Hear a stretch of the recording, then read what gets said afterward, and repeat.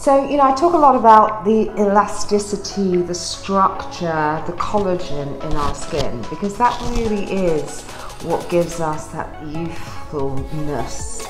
By the time we're about 40, we have about 40% less collagen than we started. So we really want to do everything we can to support that. An easy thing we can do to sort of support the structure of our skin is, is just simply sort of mechanical massage with our hands or with tools, with, with, with rollers. Um, but we can also support it from the inside out. One of the most effective things to do is increase our own natural collagen production and vitamin C um, therapeutic amounts, 1000 milligrams, uh, will be really helpful in increasing our own collagen production. And then, of course, we can go further and, and add collagen in the form of marine or bovine collagen to our diets.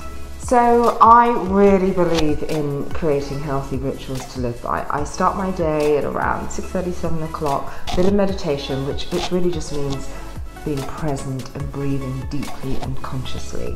Then I get up, stretch, hang the head heavy, send the blood to my head, my hair, come up slowly one vertebra at a time, and then I'll go and tongue scrape, which with a copper tongue scraper, which helps get rid of the toxins that build up overnight. Hydrate, large glass of room temperature water, and then I'll start my morning movement.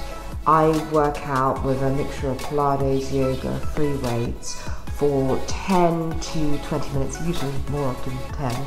Um, but, I, but it's a non-negotiable. I, I do that every morning. And then I'll have a green juice, um, super greens, berries, might add some ginger, some turmeric.